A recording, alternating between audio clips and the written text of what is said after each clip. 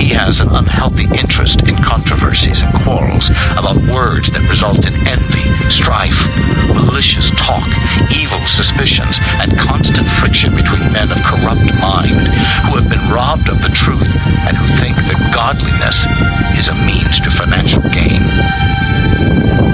But godliness with contentment is great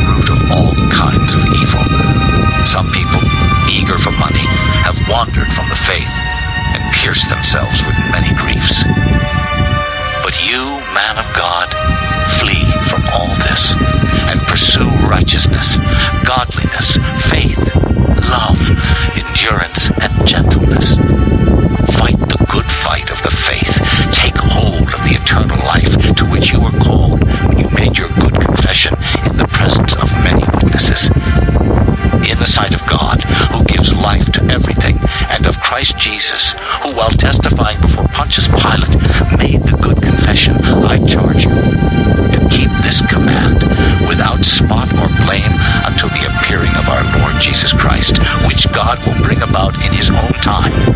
God, the blessed and only ruler, the King of kings and Lord of lords, who alone is immortal and who lives in unapproachable light, whom no one has seen or can see. To him be honor and might forever. Amen. Command those who are rich in this present world not to be arrogant, nor to put their hope in wealth, which is so uncertain, but to put their hope in God, who richly provides us with everything for our enjoyment. Command them to do good, to be rich in good deeds, and to be generous and willing to share. In this way, they will lay up treasure for themselves as a firm foundation for the coming age, so that they may take hold of the life that is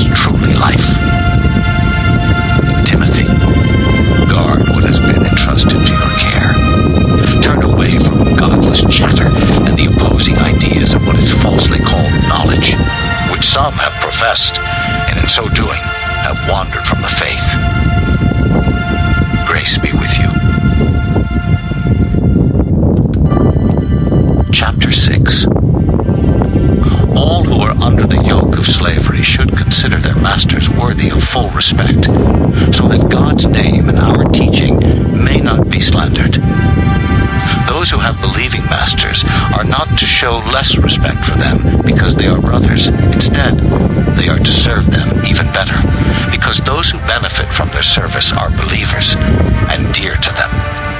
These are the things you are to teach and urge on them. If anyone teaches false doctrines and does not agree to the sound instruction of our Lord Jesus Christ and to godly teaching, he is conceited and understands nothing. He has an unhealthy interest in controversies and quarrels about words that result in envy, strife, malicious talk, evil suspicions, and constant friction between men of corrupt mind who have been robbed of the truth and who think that godliness is a means to financial gain.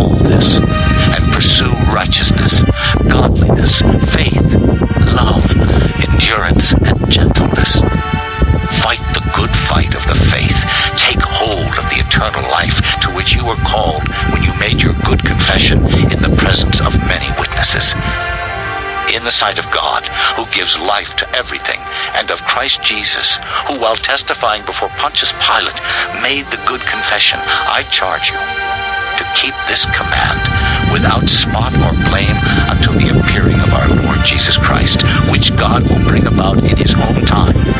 God, the blessed and only ruler, the King of kings and Lord of lords, who alone is immortal and who lives in unapproachable light, whom no one has seen or can see. To him be honor and might forever.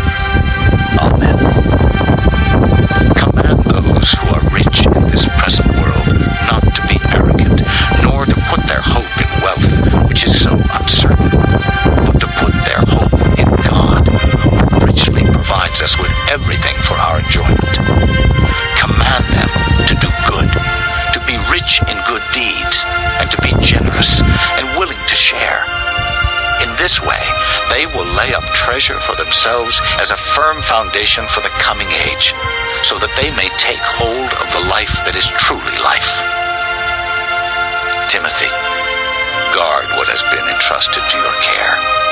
Turn away from godless chatter and the opposing ideas of what is falsely called knowledge, which some have professed, and in so doing have wandered from the faith. Grace be with you. Chapter 6 All who are under the yoke of slavery should consider their masters worthy of full respect, so that God's name and our teaching may not be slandered. Those who have believing masters are not to show less respect for them because they are brothers. Instead, they are to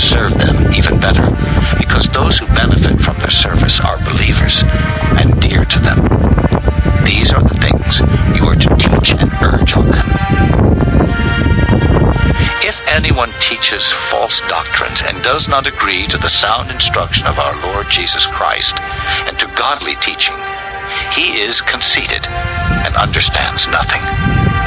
He has an unhealthy interest in controversies and quarrels about words that result in envy, strife, malicious talk, evil suspicions, and constant friction between men of corrupt mind who have been robbed of the truth and who think that godliness is a means to financial gain. With contentment is great gain.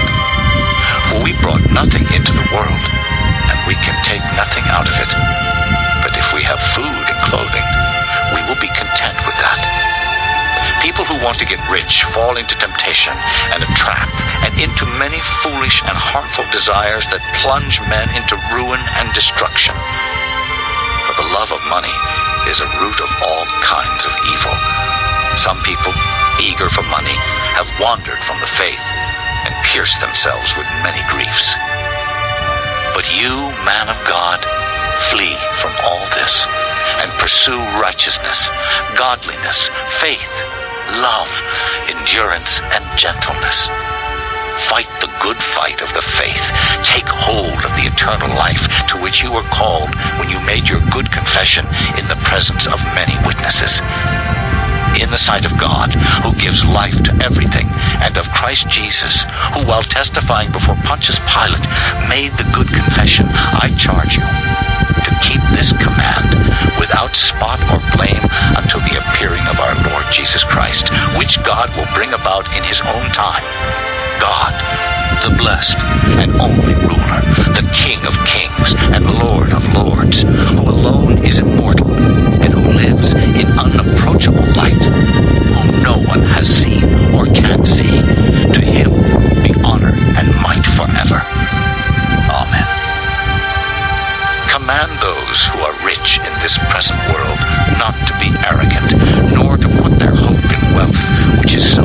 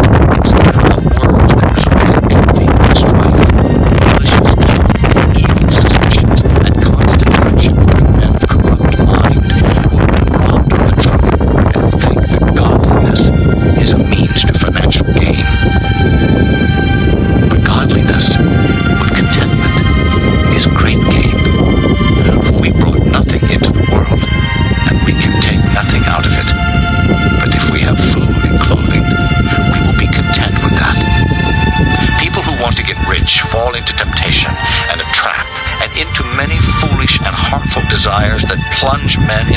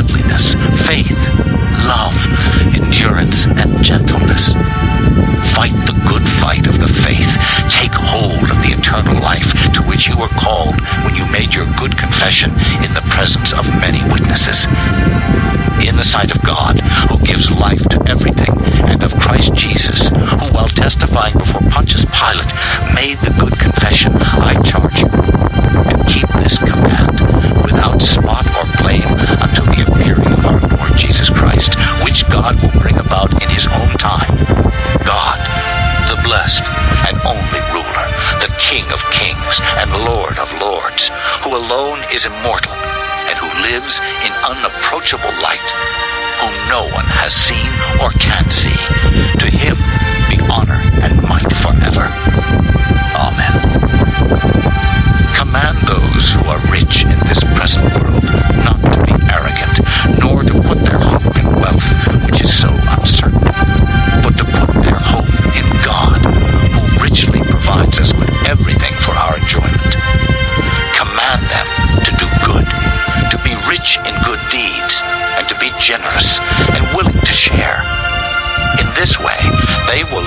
treasure for themselves as a firm foundation for the coming age, so that they may take hold of the life that is truly life. Timothy, guard what has been entrusted to your care. Turn away from godless chatter and the opposing ideas of what is falsely called knowledge, which some have professed, and in so doing have wandered from the faith.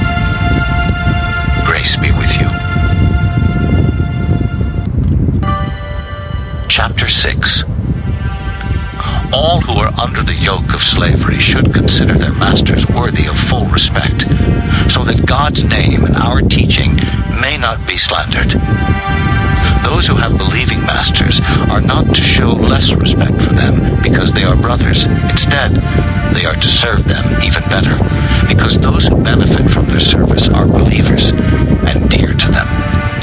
These are the things you are to urge on them. If anyone teaches false doctrines and does not agree to the sound instruction of our Lord Jesus Christ and to godly teaching, he is conceited and understands nothing. He has an unhealthy interest in controversies and quarrels about words that result in envy, strife, malicious talk, evil suspicions, and constant friction between men of corrupt mind who have been robbed of the truth and who think that godliness is a means to financial gain. But godliness with contentment is great gain. For we brought nothing into the world, and we can take nothing out of it. But if we have food and clothing, we will be content with that. People who want to get rich fall into temptation and a trap and into many foolish and harmful desires that plunge men into ruin and destruction. For the love of money is a root of all kinds of evil. Some people, eager for money, have wandered from the faith and pierced themselves with many griefs. But you, man of God, flee from all this and pursue righteousness, godliness, faith, love, endurance, and gentleness. Fight the good fight of the faith. Take hold of the eternal life to which you were called when you made your good confession in the presence of many witnesses. In the sight of God, who gives life to everything, and of Christ Jesus, who while testifying before Pontius Pilate made the good confession, I charge you to keep this command without spot or blame until the appearing of our Lord Jesus Christ, which God will bring about in his own time.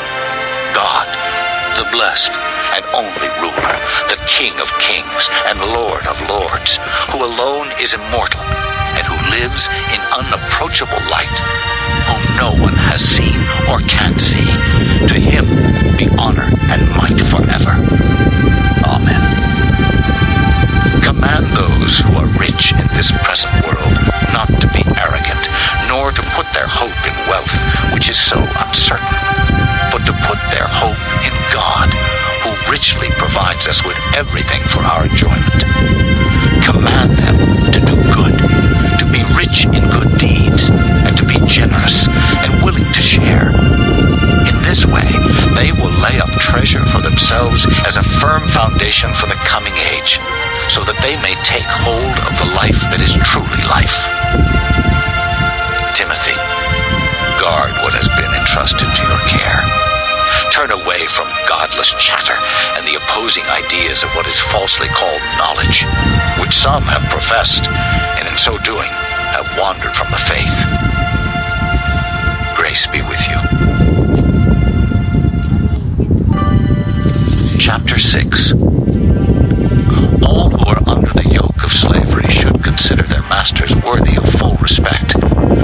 God's name and our teaching may not be slandered. Those who have believing masters are not to show less respect for them because they are brothers. Instead, they are to serve them even better, because those who benefit from their service are believers and dear to them. These are the things you are to teach and urge on them. Anyone teaches false doctrines and does not agree to the sound instruction of our Lord Jesus Christ and to godly teaching, he is conceited and understands nothing.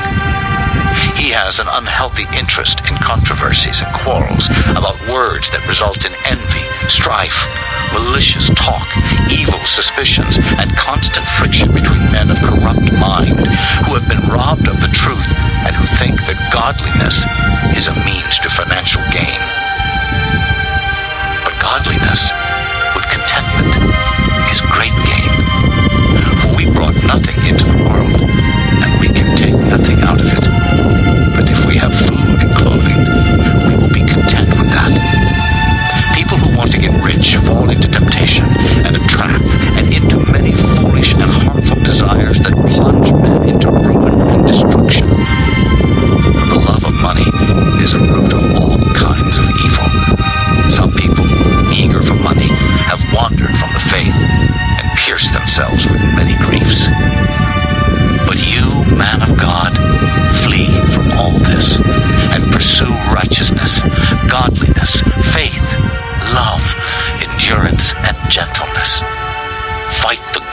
fight of the faith. Take hold of the eternal life to which you were called when you made your good confession in the presence of many witnesses.